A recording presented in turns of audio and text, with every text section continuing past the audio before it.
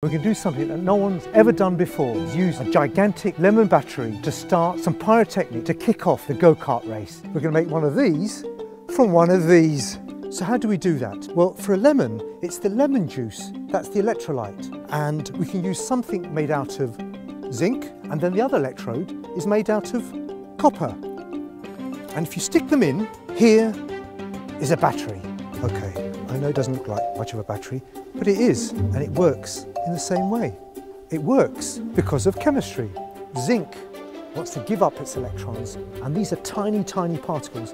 The copper wants to gain the electrons. Connect these two electrodes together via a wire outside the lemon. Between the two electrodes, we have the flow of charged atoms, something we call ions. And what do we call that flow of electrons?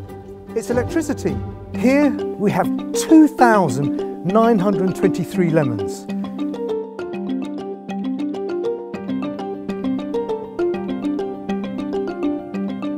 This is the largest lemon battery the world has ever seen.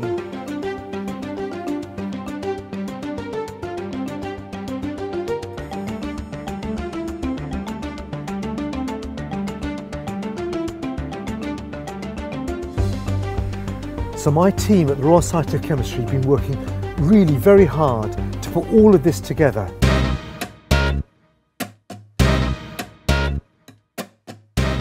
So what we have here is this side is connected to one side of the lemon battery and this side is connected to the other. So what it's going to do is when I connect this, it will actually light a small LED. That light sensor will trigger a relay, which in turn will activate the pyrotechnic system.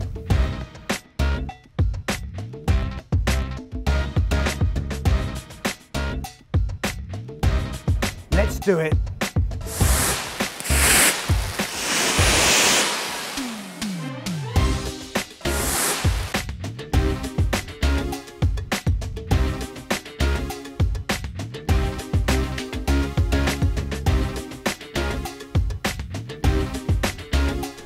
I can now confirm that here today you have managed a total voltage of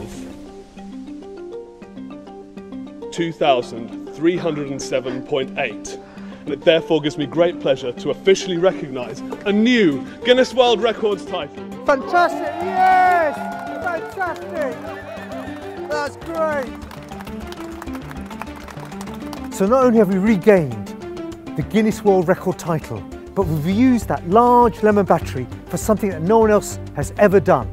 Low carbon energy is one of the greatest challenges of our time to deal with major climate change. We're at the dawn of a new era of clean energy applications. I think it's a really exciting time to be a scientist in general and a chemist in particular. Future chemists out there, the next chapter is for you to write. So go out and charge ahead.